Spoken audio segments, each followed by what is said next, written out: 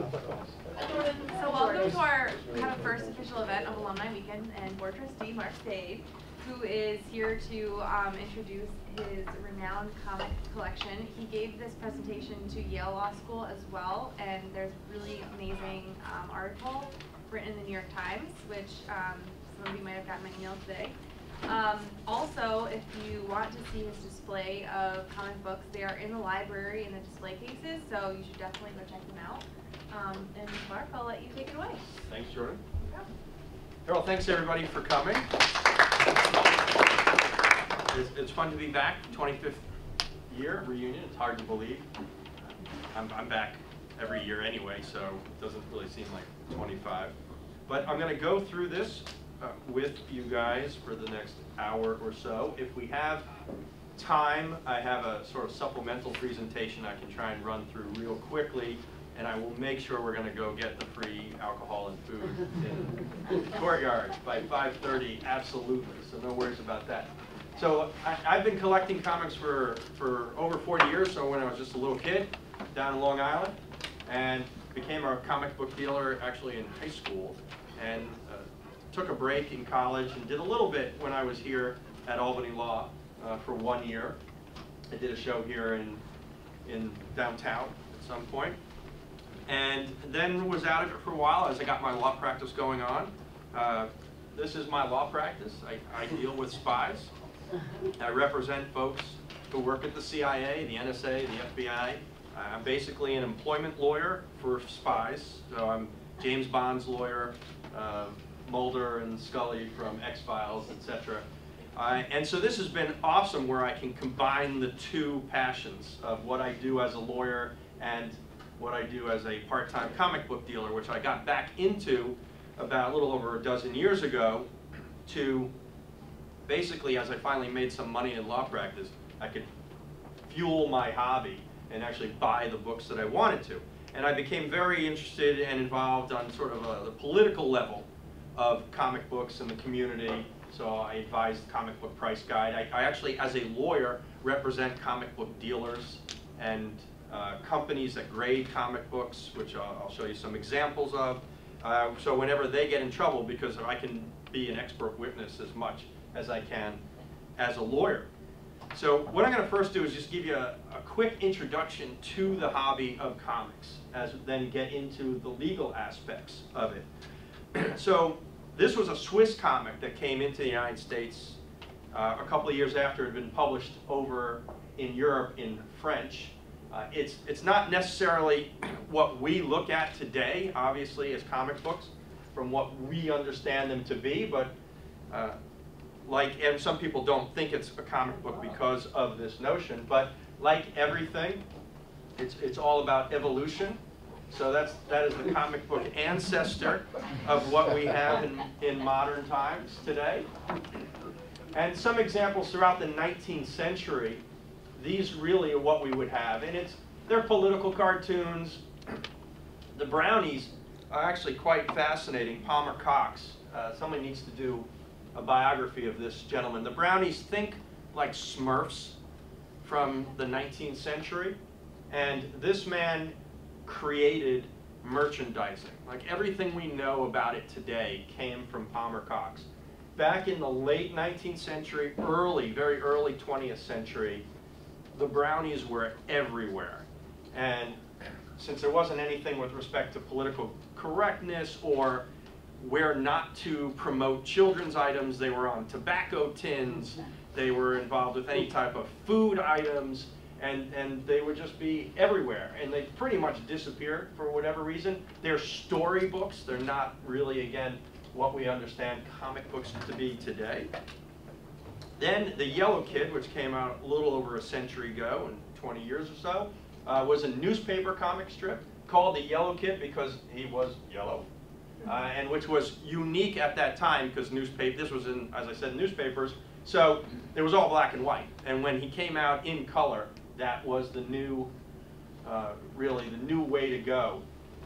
I, I always find fascinating, especially when I, I collect a lot of the comics from the the 20s and the 1930s. Just about everything in this presentation is part of my own collection. And humor translates really differently. So when you read some of these, which were comic book strips, which again were some of the top strips of the day, I read it, I don't have a clue what they're talking about. The humor is completely lost. Uh, versus physical humor, if you watch the Three Stooges now, still Laurel and Hardy or the Abbott Costello from the 30s and 40s, 50s, still for the most part pretty funny, I think. At least I always thought so. But you read some of these, and it's they're really geared towards whatever was the topic of the day. Uh, so I collect them. They're hard to find, uh, but they they really don't translate well. We started to come a little bit more into modern day in the 20s. Uh, still, again, comic book strips, but now it's being issued monthly. It's got a price on it. And then the first modern comic in 1933. All newspaper strips. They literally took the newspaper and folded it over and decided to issue it out. 10,000 Comics, this was a promotional book. As it says, Procter & Gamble, same company that we have today. Max Gaines went on, uh, you may recognize that name, went on to found Mad Comics in the 1950s. We're going to get back to him because his son plays a major role. But this was the first time Max was the one who was going around uh, to try and sell products for Eastern Publishing Company, Eastern Color Printing Company.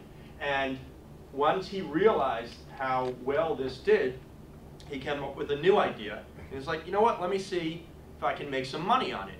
So he took a bunch of these, which was the second comic book, again, all prints from the newspaper, put a 10 cent sticker on it, gave it to some newspaper stand dealers in New York City, came on a Friday, came back on a Monday, and they were all gone.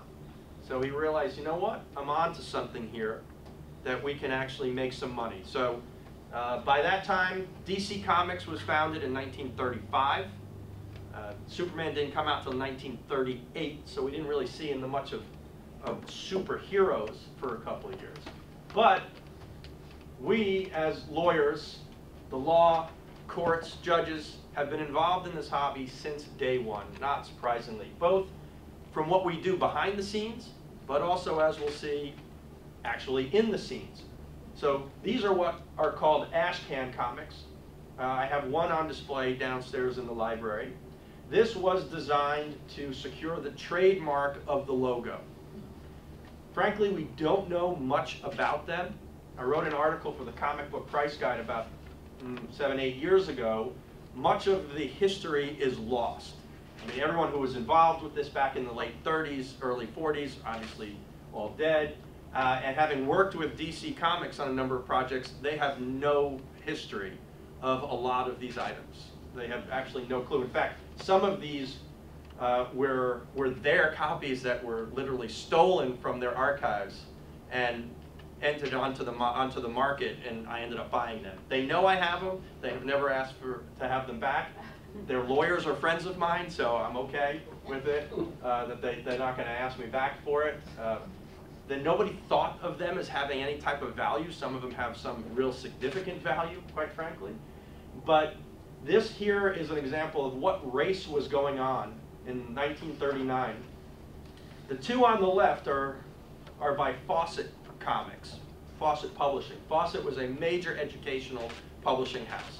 Uh, that had lots of educational books, school books, uh, into the 1980s until uh, Random House bought it out. On the right is Flash from DC Comics. So what they would do for Ashcans is, uh, and by the way, DC won the battle on this of getting to the trademark office first. So if you look at how the logo is, right, same logo for it. We don't know why Fawcett put in two different versions of it. Now for DC, they would usually put a book inside of the ash can.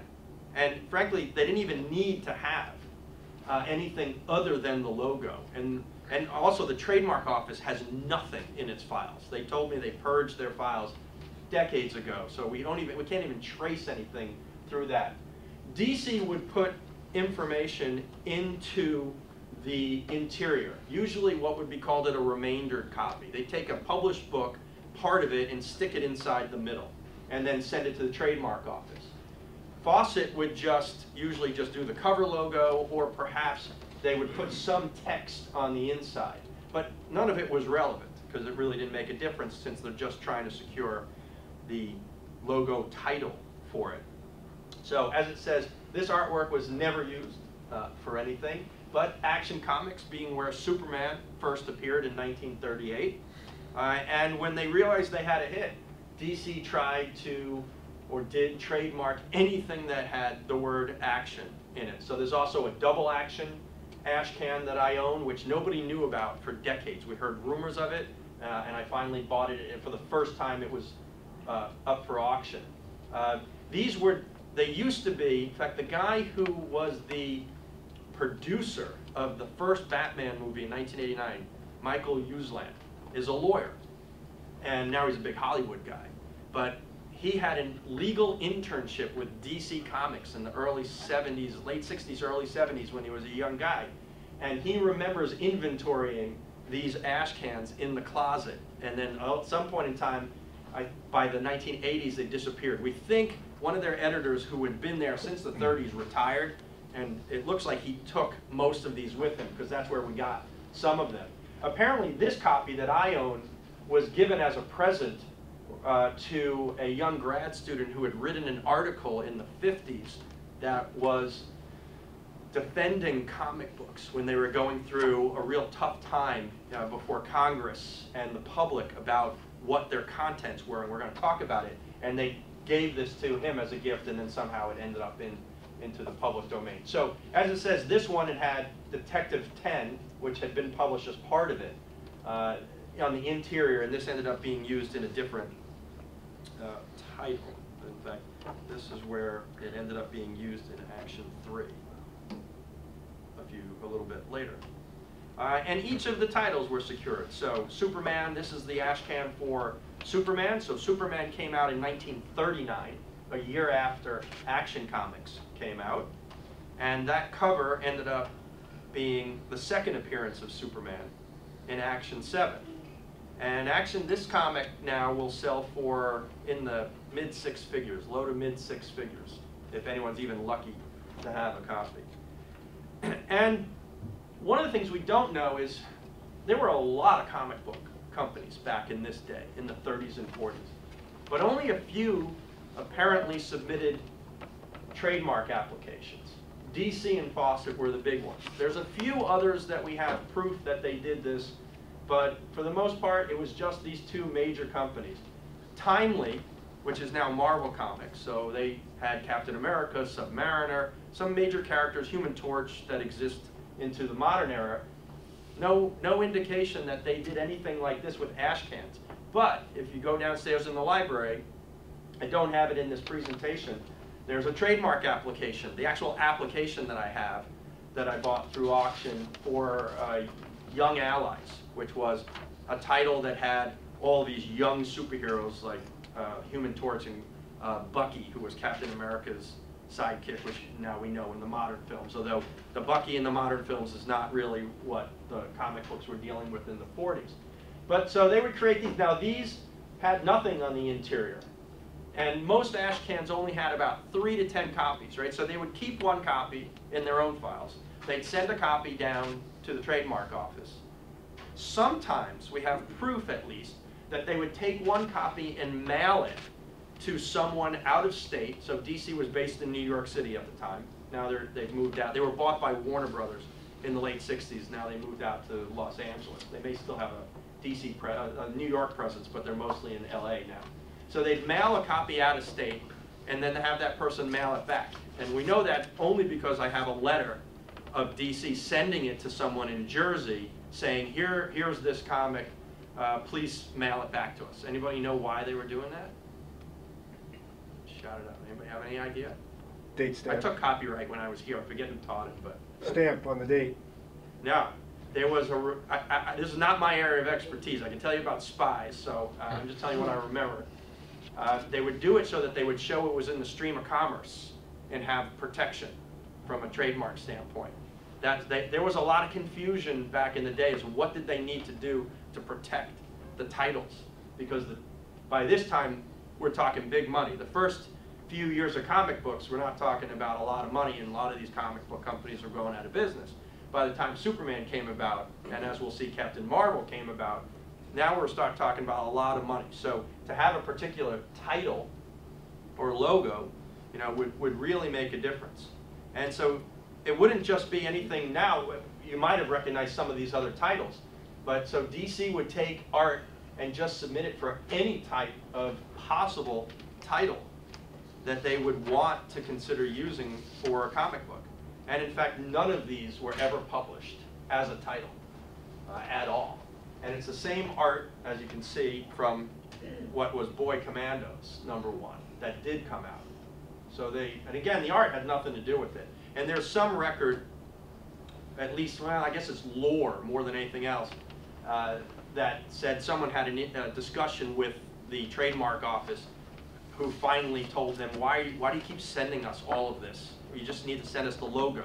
So if you look at the trademark application I have in the library, if you, you can kind of see behind the front cover, there is just the logo, just it's the application and the logo that they sent in rather than, than doing all of this. And this was the ash can for Boy Commandos. I, I don't know where, if this art was ever used in everything.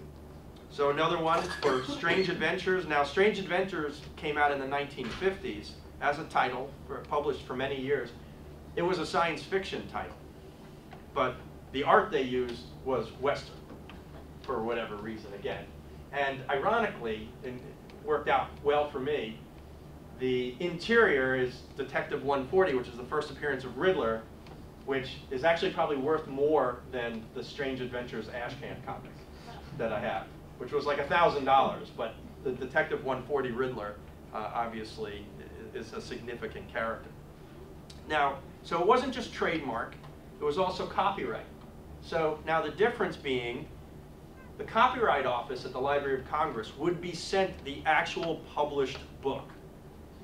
And then they would stamp it. If you look on each of them, you'll see uh, a little bit different, a couple of them have a little bit different stamps that the Library of Congress uh, stamped indicating when they received the book.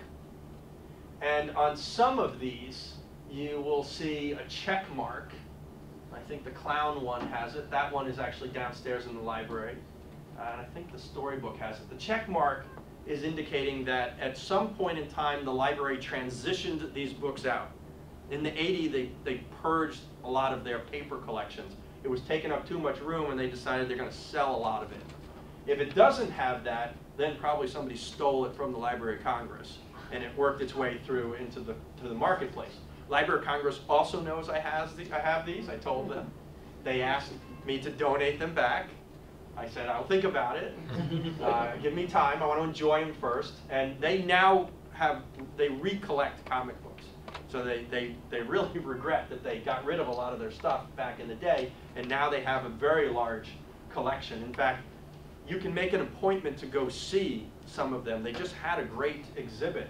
And they have the original art from Amazing Fantasy 15, which is the first appearance of Spider-Man. It's, it's worth over a million dollars, easy. Uh, and they will, they will show it to you on display. Now, you know, lawyers, we are there in all throughout history, right? And certainly in literature.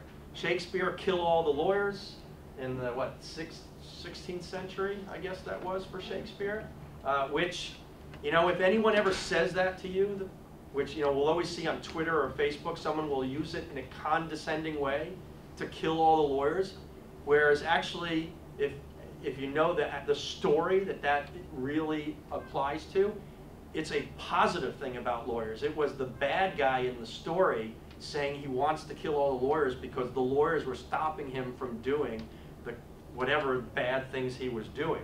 We were the good guys mm-hmm. in the story.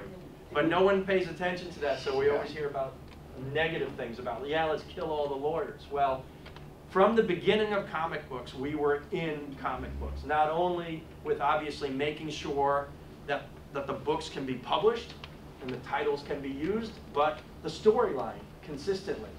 And understand until really for any of us, for, for anything that those of us in this room experienced, comic books were very different back then from now.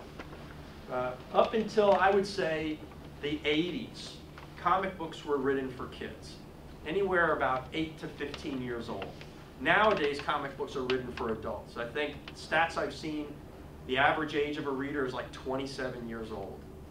Uh, they're obviously much more graphic, they're much more sexual, the, the content you know, is, is very explicit.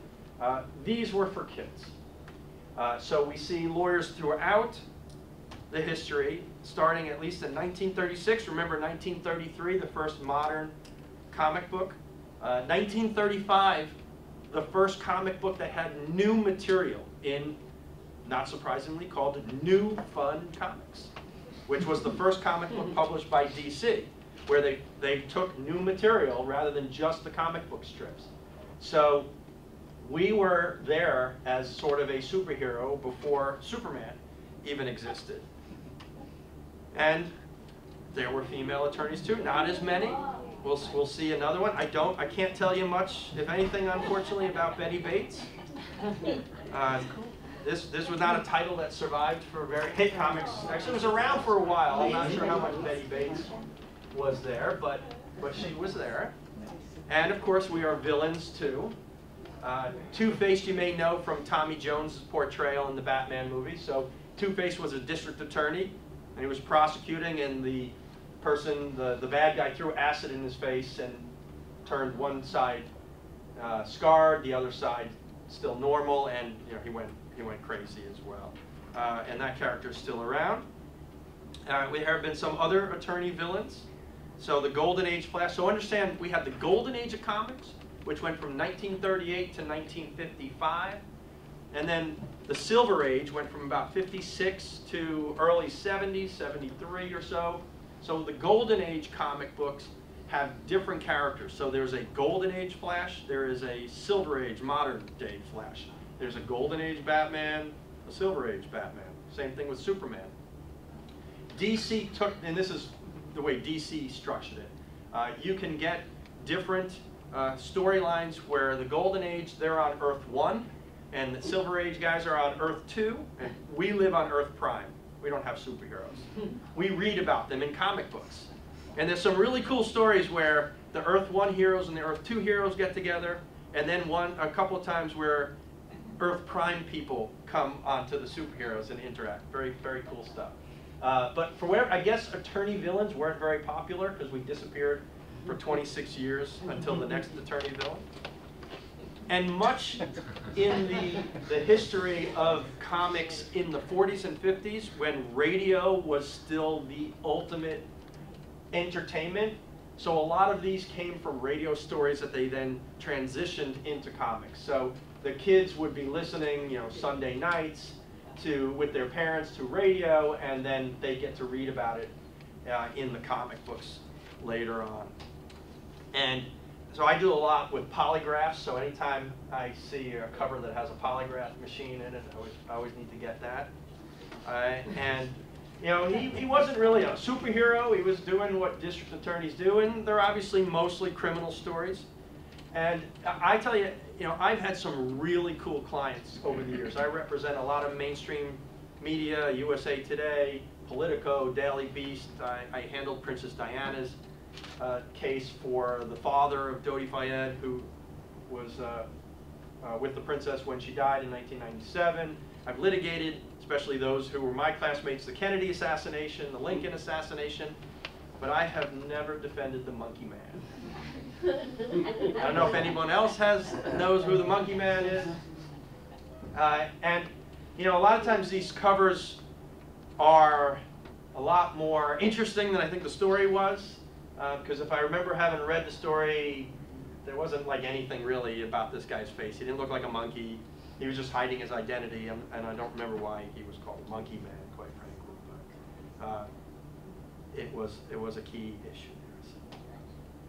Two Gun Kid, who actually was around for at least 20 plus years, as I recall, is actually a lawyer. Uh, I, when, I, when I gave this lecture at Yale Law School, I, I, had to hide the fact that he had gone to Harvard Law School, which they thought was pretty funny. I said, that, you know, he went to this other law school, and just in Boston. But since for us in Albany, I, I just added in Harvard. I don't think we really care as much that we're concerned about Harvard Law School. Uh, but hey, you know, first comic book attorney to actually go to attend law school, a real law school. And sometime there was a rumor uh, that Batman had gone to law school and had gone to Yale, which Yale was very excited about when I gave my presentation. There, there's no evidence that he did, because he's never really practiced as a lawyer, though we'll have a little bit to see about that. We think, and his father was a doctor, but we're thinking maybe probably one of the people who was what, an artist on the Batman character at one point just put a Yale Law School diploma on the wall in Bruce Wayne's manor. Uh, maybe his parents went, I don't know. But one of the most famous lawyer comic book superheroes, of course, is Daredevil, who, after he lost his sight as a young kid, went on to become a lawyer. Uh, and so there's a number of issues. I got the New York Times, if, if you guys have seen the story, or if you go and look up the article that the New York Times did about my exhibit at Yale, the guy who wrote it's a comic book collector. And he gave me crap in the article, you gotta love being called out in the New York Times, that I did not have on display a Daredevil comic book, given that he's the lawyer. Well, because there's like no covers where there's anything in it about the law other than this, which is obviously just the scales of justice, which you know could be law, could you know maybe not. Uh, there was only there's some internal discussions, but I, I didn't want to do in, in, internal panels, interior panels. I wanted to have the covers. Now, if you read this text here, I don't know about you guys, but I, I generally try not to bluff the court when I'm before a district judge. Uh, apparently Daredevil and Matt Murdock thought he could do that and get away with it. And, and for those who saw one of the worst uh, movies of superheroes, uh, was this one about 15 years ago. Now, if you do like the character, Netflix uh, has still going a Daredevil series that should be now, I think it's third season. And the first two seasons are very good. It's, it's really worth watching. And there's a lot of legal scenes uh, in it. And the guy who plays the Kingpin also has his legal connections because it's the detective from Law and Order Criminal Intent uh, as well. So they just, they, everybody just kind of shifts over. The Hulk has been prosecuted a bunch of times, hmm. represented by Matt Murdock, Daredevil, in fact. And to get back to a female lawyer, his cousin, the She-Hulk, is a lawyer. So the, the character for She-Hulk is Bruce, is Bruce Banner's cousin, and she was a lawyer, and she got shot by some criminals, I think organized crime, if I remember. And Bruce Banner gave her a blood transfusion, and as a result, she became the She-Hulk. Now, unlike the Hulk, if you remember, the Hulk, when Bruce Banner becomes the Hulk, he usually loses his scientific mind, and he's just this, you know, crash, smash him up guy. Uh, Jenny, if I remember her character's name, uh, maintains her intelligence. So she can still be a lawyer as her She-Hulk persona. And here she is working with Matt Murdock uh, as, as, well. No, and she looks pretty good. That's, that's, a nice outfit. I'm not sure if that's in like New York Supreme Court or something.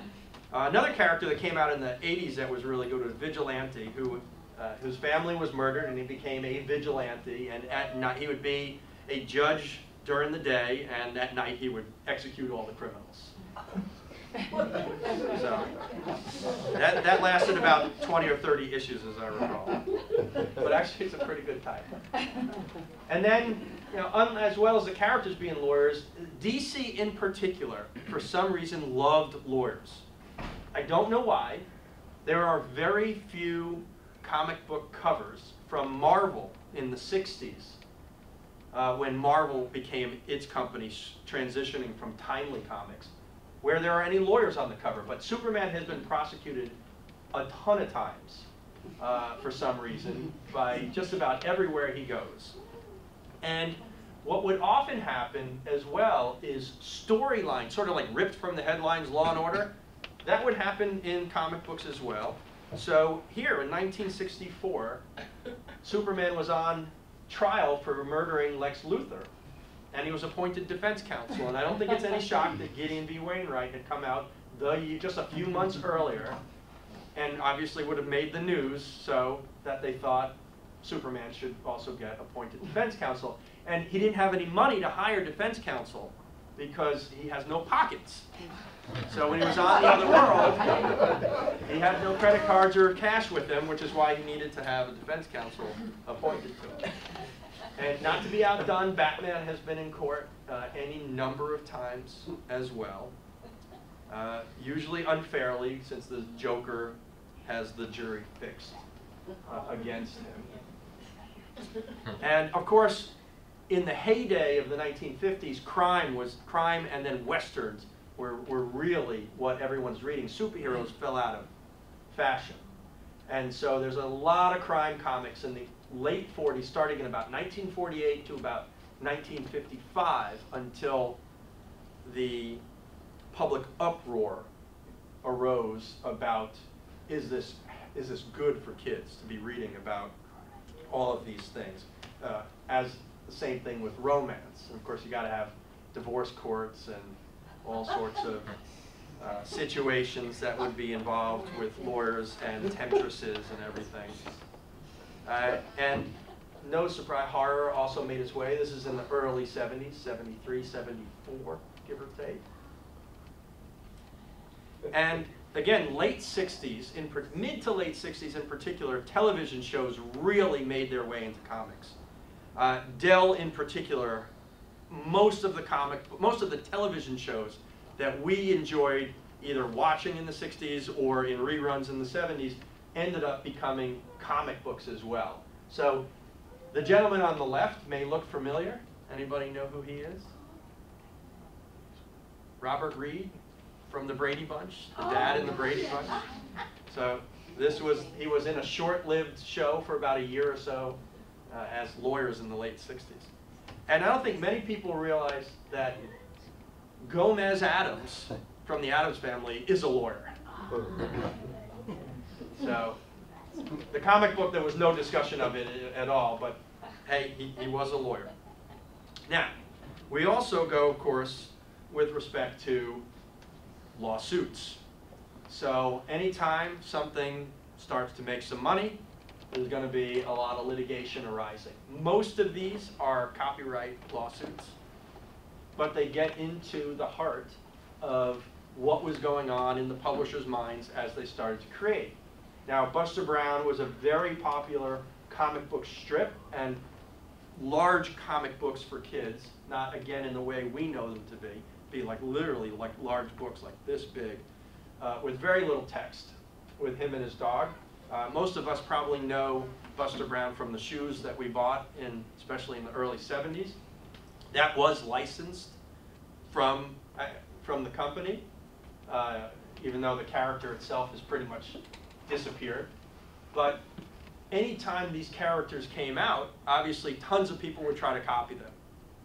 Not just in comic strips, but in any type of merchandising and artwork and dolls. So again, we don't really know Barney Google today, uh, though this was a stamp that came out, what, in the mid-80s, 85 I think it says. Uh, but in the late mm, teens and 20s, these were massive characters that were the hit of childhood. Uh, and a lot of times when they would come out, like in this one, or Betty Boop, which you may recall, uh, people would make dolls uh, and other type of merchandising, and mugs and things like that, and try and sell them, and the companies would uh, obviously fight back uh, to keep them. So the golden age starts 1938, first appearance of Superman. This book now has sold, not this particular copy, uh, has sold for $3.2 million, the most expensive comic. And as soon as he came out and was popular, other copies started to show up. So Wonder Man showed up a few months later.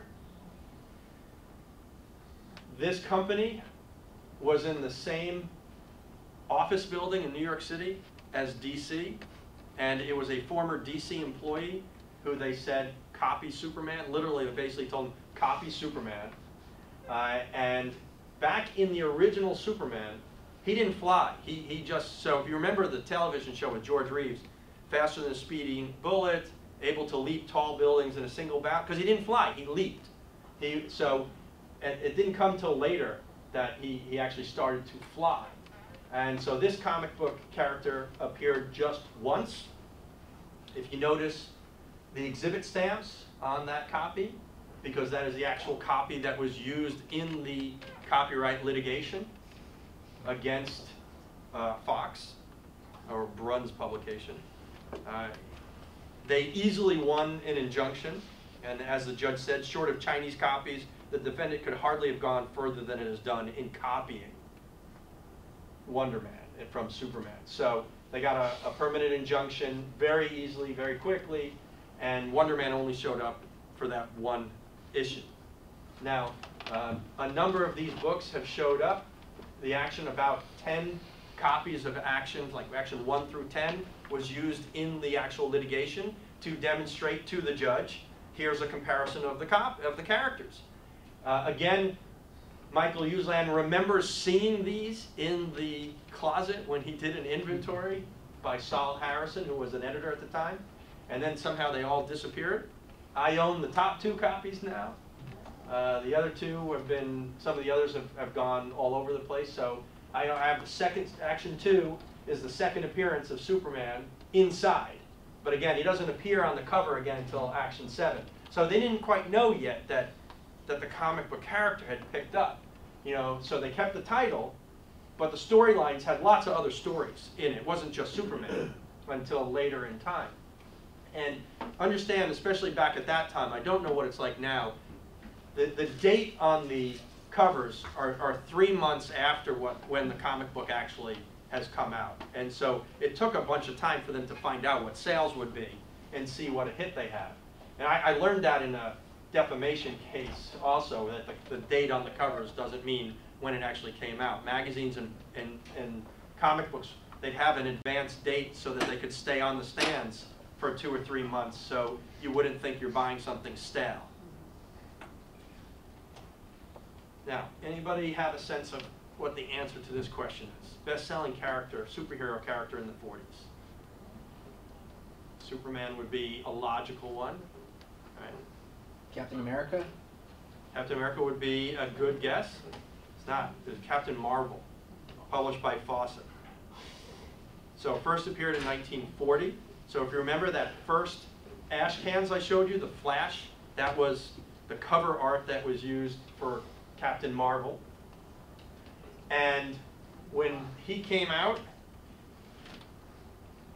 I mean, we're talking a lot of money, half a million copies within the first year.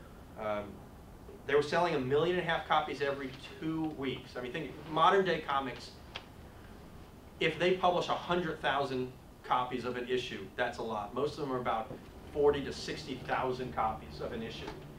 A million and a half every two weeks that they were selling. And they would make six cents a book, so $78,000 an issue. This is in 1940s.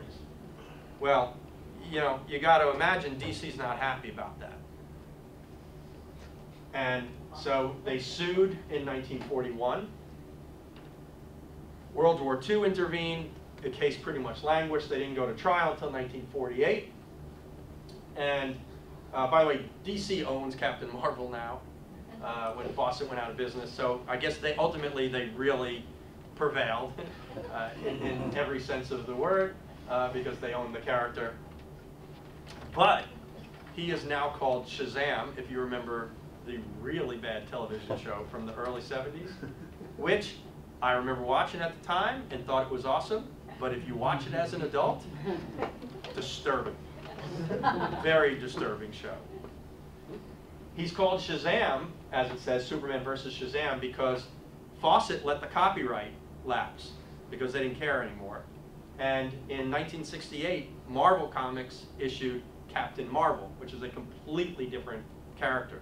So by the time DC bought Captain Marvel from Fawcett, they had to switch it to Shazam. Shazam is the word that he says to become Captain Marvel from being Billy Batson. So they went to court in the Southern District of New York, and even though the judge said, after going through a lengthy trial and a lot of experts and a lot of exhibits, that it pretty much looks like Fawcett copied DC in creating Captain Marvel versus Superman. McClure Newspaper Syndicate, which was publishing the newspaper strip of Superman, inadvertently forgot to put some copyright designations in the strip. And the judge ruled on a technicality that they had forfeited protection for Superman. And that, so Fawcett won. Now, that obviously didn't sit too well with DC. Here are some of the exhibits that were actually used by DC. So DC submitted, the plaintiff, submitted these as exhibits in the trial to show that Captain Marvel was a copy knockoff of Superman. And these are all my copies. Uh, I own a whole bunch of them now. I find them wherever I can. Uh, obviously one-of-a-kind copies. And interestingly enough, so you see how nice condition that these are in, because these were in Fawcett's warehouse. So when Fawcett uh, sold itself in the 80s, it opened up its warehouse to comic dealers who could buy all of its inventory, and these were there. So they're in incredibly high-grade condition. I lucked out and I found these on eBay of someone who was selling, I think the special edition one, which is, that's the first appearance of Captain Marvel. And, you know, it's in obviously horrible shape. And then I contacted the seller. I'm like, do you have any others? And where did you get these? And it was just an intermediary seller who was selling them for someone else as an eBay store, basically. And he happened to have these other two, so I was able to buy all three of them. And that's the first Captain Marvel Adventures number one, which came out after this one. And it turns out, at least the story that he was told was it was a guy who worked for Fawcett, and at some point in time he took these home. So he obviously didn't take very good care of them. Uh, the Captain Marvel Adventures, I mean, that's in pieces. I had to like lay it on the book to take the photo or scan it. And fortunately, one of the big pieces that's, that is separate from the type, rest of the cover is the one that has the exhibit stamp on it. So I lucked out at least in that.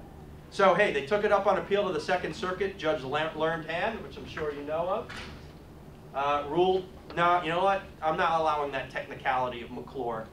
Their intent was to maintain the copyright. Somebody screwed up in the art room. I'm not going to allow that. That is going to dictate that Superman is in the public domain. And it is so obvious that even though there are differences, Superman just disguises himself as Clark Kent. Captain Marvel is Billy Batson, who's a, a teenager who turns into an adult. Um, Captain Marvel has a pet, has a tiger for a friend and a, a, worm as an enemy. It's a much more campier comic.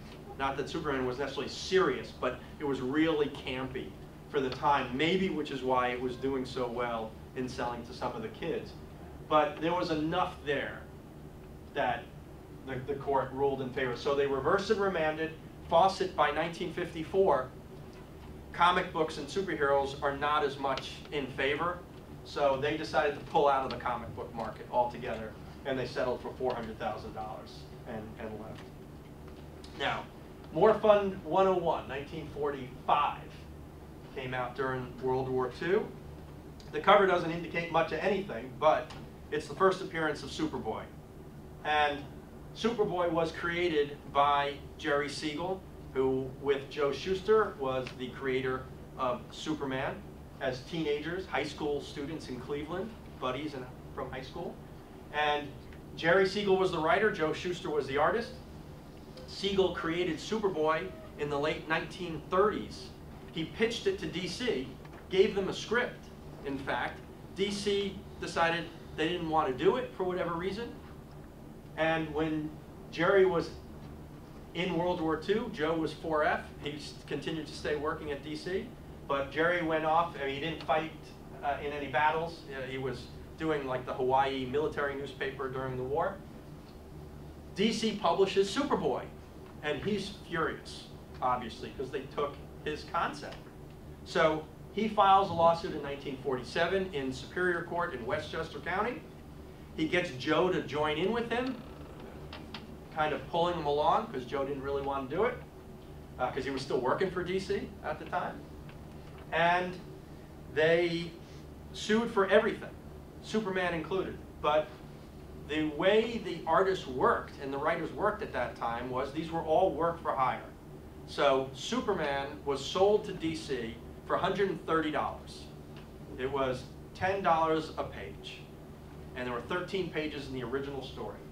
And the check still exists, DC has it, uh, Warner Brothers has it, has the original contracts. It's a huge wealth of a file, which I've had the luxury and liberty, uh, privilege of going through. Uh, but they won on Superboy.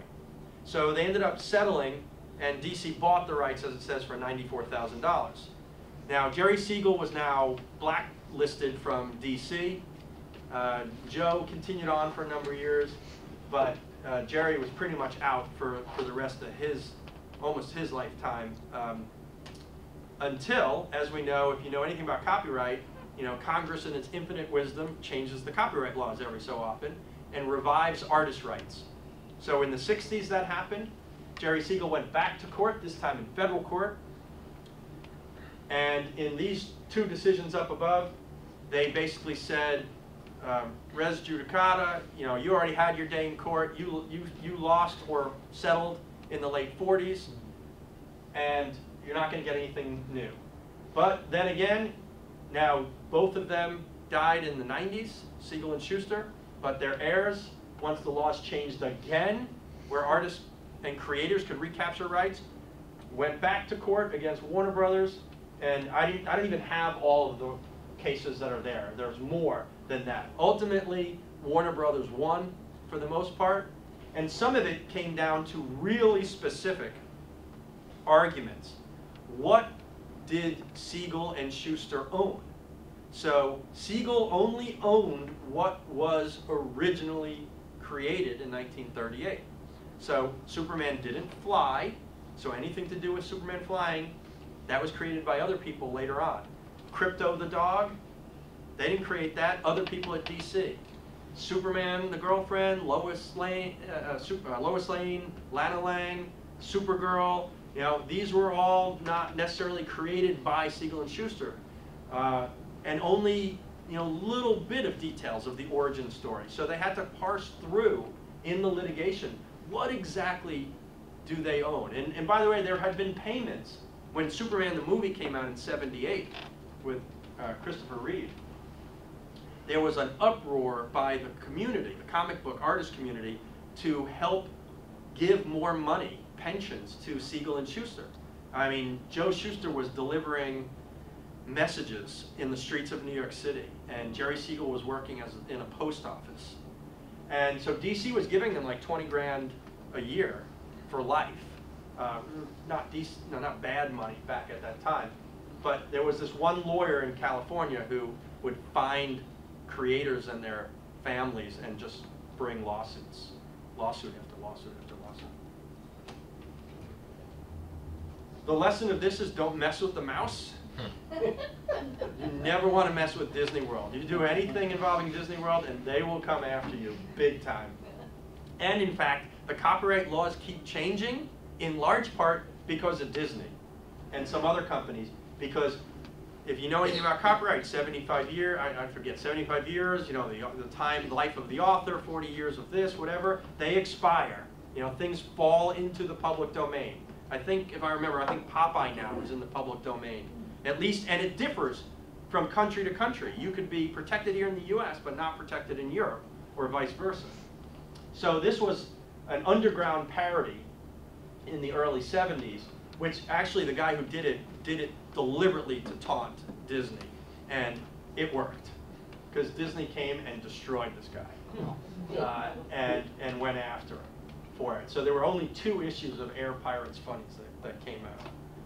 And there's been a lot of other litigation, again, mostly copyright and some attempts by authors to recapture the rights of those characters from years and years past. Sometimes disputes between the artists as well. Now, let's see what we got on time. All right, I'll just kind of go through some of this. So in the late 40s, early 50s, Fredric Wertham launched this crusade about how dangerous comic books were for the youth of the day. He was actually a very renowned psychiatrist, German immigrant, uh, down in New York City area, and he would study juvenile delinquency and wrote a lot about it. And when he would go to the juvenile delinquents' homes, he always noted, and this is in the 40s, mid to late 40s, he always noticed that all these young boys, mostly boys I'm sure, were sitting around and reading comic books. Comic books, juvenile delinquents, they're reading the comic books. The comic books create juvenile delinquents. Forget about the other million kids who were reading the comic books and who weren't juvenile delinquents. Didn't matter. But there, he, he launched into this crusade. And any magazine of the day, Reader's Digest, Collier's Life, there will be articles about uh, that he wrote the horrors of comics and what it was doing to the youth. Right? So here's one of these things. There's a lot about Batman and Robin perhaps having a somewhat unhealthy relationship or illegal relationship because Robin was underage. Uh, not necessarily unhealthy, illegal, uh, because he was, the, he was his ward at the time. Uh, so this was some of the stuff that he would say.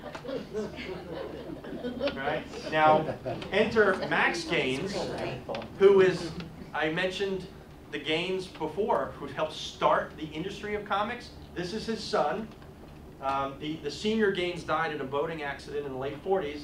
Max Gaines took over and created Mad Magazine uh, as we know it. And he loved fighting with Wertham, as you could see right there. But it spilled over into Congress. And anytime Congress is going to get involved to try and mandate morality is not necessarily a good thing. And there were all sorts of hearings. And in fact, there was this one hearing where Gaines testified. Now, Gaines had, as many of them did at that time, let's say, use of substances.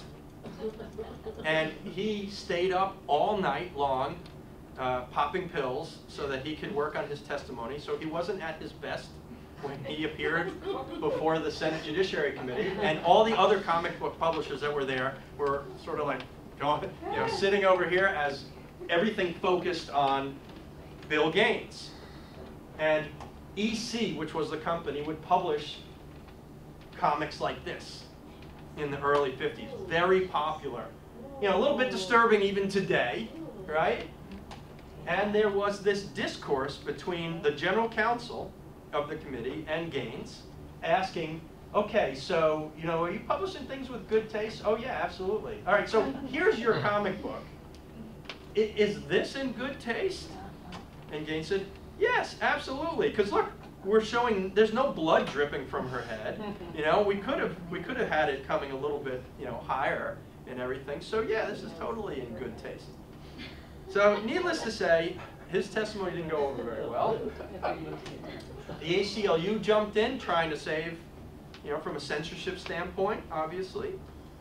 But the comic book community was really nervous, and they were really concerned that Congress was going to enact laws that were going to mandate what they could and could not publish. So, just like the movie industry would years later, they created their own code. So they were going to police themselves. And so in the 1950s, here would be what comic books would now be allowed to publish, right? So you couldn't use horror or terror as an example. No more Walking Dead and torture and vampires and werewolfism. They're all prohibited, which was a problem because DC Comics had a guy named Marv Wolfman who worked for them. And every time he would put his name to the comic, they would censor it. Because he's like, it's my name. All right? And no, oh sorry, females had to be drawn realistically without exaggeration of physical qualities. Because there are what called headlight comics. I'll let you figure out what that means. That were very popular in the 40s and 50s. Again, mostly 8-year-old to 15-year-old boys buying the comic books. Now, it had a significant impact. Most of the comic book companies went out of business as a result of this. And this was in large part why also Fawcett decided in 1954 to, to get out uh, because the code went into effect. So you know, really dramatic impact. Now, Gaines was to hell with you. He turned Mad, which was a comic book, into a magazine format. Magazines were not subject to the comic book code. And there are a number of issues where he would just lambast the comic book companies. So there's a lot of times where he'd make fun of superheroes and, and the code, and that's because they basically ran him out of the hobby. And there would be guides that would be issued. Uh, by the way, lawyers were running the comic book code. No surprise there. Uh, this was from 1974, I think. Yeah, 20 years of regulation. But like everything, society changes. Our tastes change. Political correct correctness changes. What was horrific back in the 50s, by the late 60s, early 70s, nobody really cared about anymore. So you started to see things creep back in into the comic book world. And some characters that, you know, Ghost Rider, obviously a, a movie by, with Nicolas Cage about a decade ago. And they started to change some of the ratings. So Marvel was the first one to come out with its own internal rating system. Everybody started to forget the code. The code does not exist any longer at all. I mean, it's ridiculous, you know, if you see what is published now. And again, the audience is completely different. So Marvel took a shot at the code, again with She-Hulk the lawyer, as she's wearing the code as her costume or her clothing there. And, but not everybody followed the code. So Dell Comics, first of all, if you followed the code, you had to pay money into the code per title that you issued because you had to pay for the staff. Dell's like, we publish a ton of comics, right? All these characters, most of whom you probably recognize. It's going to bankrupt us if we pay. And why should we pay? Because all our comics are wholesome. There's nothing in it, right? Mothers can relax too when children read Dell comics. I love the dog looking at his master as he reads comic books. Uh, so Dell refused to join the code, and nobody did anything. But I always, I always love the fact that this is 1954. I have this hanging in my, my house. It's about yay big. It was like in Life magazine or something. 13 years earlier, Dell published that cover, which I think, from as far as we know, was an inker error. Because if you look inside, he's wearing yellow shorts, but I think they just forgot to ink the cover. I bought this at a San Diego Comic Con about a decade ago. One of the dealers He's like, Mark, you got to come over here. I have a book I know you're to want. and I'm like, okay, I have to have this.